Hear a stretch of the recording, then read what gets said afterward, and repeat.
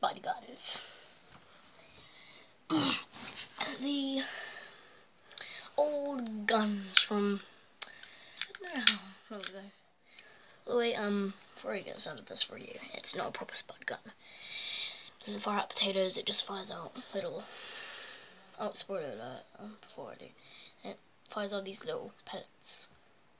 I have three of them, but I don't know where the fourth one. Okay, let's get into this. Right, so um when you first open the box, which um can't show off because I got thrown in the bin. Um, yeah, you get um this. It's good appearance. Um, it's like gun it like you can push it back.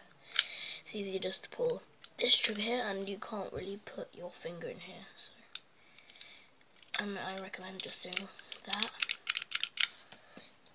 And now you just take that, take the pellet, put it in, put it in there, and I'll give you a bit of a. Oh, by the way, I got a proper tripod now. Oh god, I'm gonna have to put it on my bed. Damn it.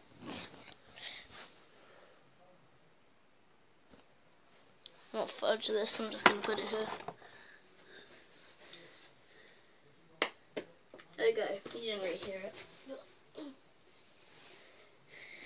you're actually supposed to do is just post a looks back like a real pistol, I think. Yeah, it fires off. Some water. These are actually quite hard to find. I, I almost lost one on the stairs.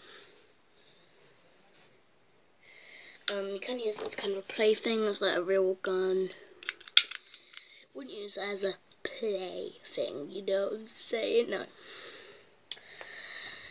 Let's not.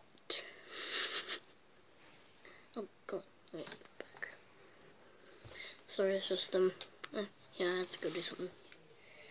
Um, yeah. Spud gun. Awesome. Not good for suicide though. No, no. Don't even know why I'd want to do that. Um, it does leave a bit of a mark. Wait, I can't remember show my foot. Wait.